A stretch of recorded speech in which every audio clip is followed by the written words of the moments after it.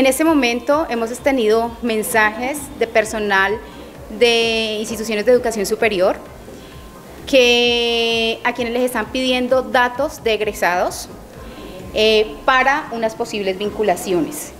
Eh, ya hemos evidenciado, pues, porque eh, por medio de mensajes de WhatsApp les están pidiendo un recurso económico a cambio de una posible vinculación con la Secretaría de Educación del departamento.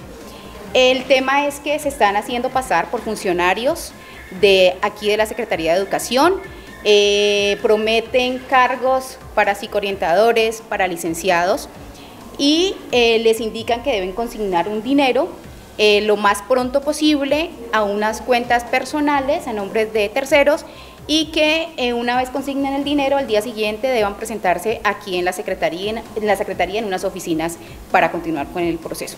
¿Cuántos casos se han identificado hasta el momento? Bueno, eh, la semana pasada tuvimos el primer caso, una persona muy cercana de que trabaja en una institución de educación superior fue la que me, preguntó y el día de ayer a una de nuestras rectoras que también es profesora de eh, una institución de educación superior, la misma persona con la misma situación la abordó.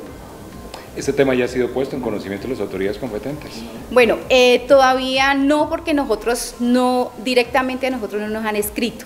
Entonces, digamos que nosotros tenemos la información que nos está dando los funcionarios de las instituciones de educación superior. Tengo entendido que hay una persona que sí ya lo hizo directamente a quien contactar. Esto es Aportando al Cauca TV.